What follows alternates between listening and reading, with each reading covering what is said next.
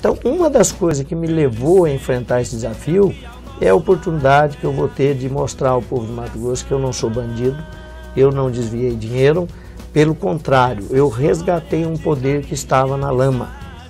Não foi o único, não foi com dinheiro público, isso eu tenho certeza e posso adiantar, e tenho certeza que todas as minhas coisas têm origem. É porque eu fui ao longo de 10 anos apedrejado, atacado, sem direito à resposta. Toda campanha eleitoral eu sou alvo de ataques, eu sou alvo de denúncias.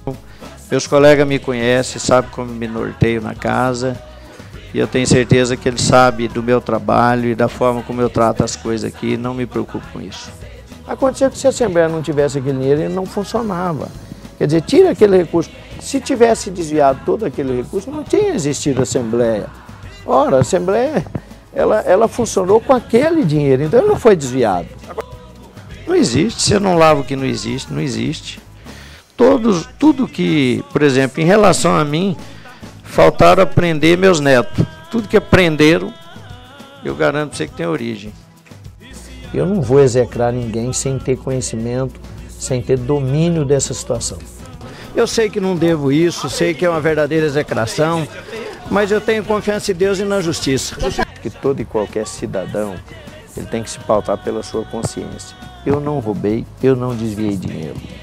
Então eu não tenho que me preocupar com isso, eu tenho que me preocupar com a linha de defesa, que eu prove isso.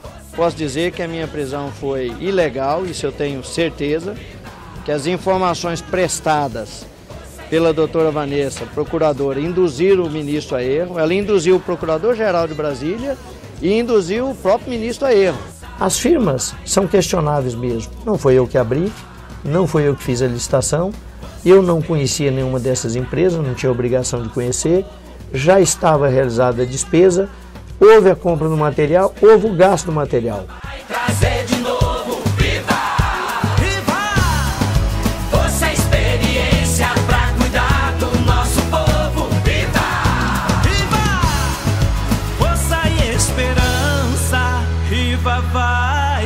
Trazer de novo.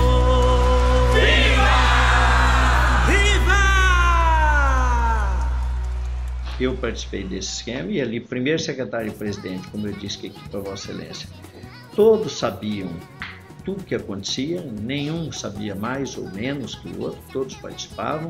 É, além de mim, Silval Barbosa, Sérgio Ricardo, Mauro Sado, Carlão, Dilceu Dal Bosco, Alencar, Pedro Satete, René Barbu, Campos Neto, Zeca Dávila, Nathaniel, Humberto Bosaico, Carlos Brito, João Malheiro, Eliene, Zé Carlos de Freitas, Sebastião Rezende, Omar Fábio, Zé Domingo, Wallace, Guimarães, Percival Muniz, Wagner Ramos, Adalto Freitas, Juarez Costa, Walter Rabelo, Nilson Santos, Chica Nunes, Ayrton Português, Maxwell Leite, Guilherme Maluf, Ademir Bruneto, Chico Galindo e Antônio Brito.